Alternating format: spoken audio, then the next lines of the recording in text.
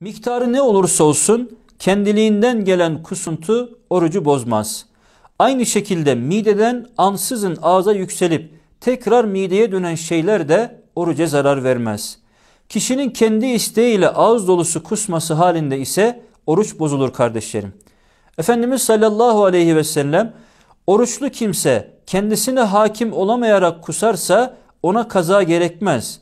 Her kim de kendi isteğiyle kusarsa orucunu kaza etsin buyurmuştur. Bununla birlikte kustuğu için orucu bozuldu zannıyla yemeye içmeye devam eden kimsenin orucu bozulur.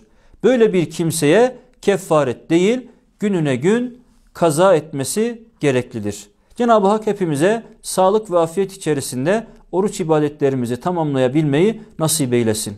Velhamdülillahi Rabbil Alemin.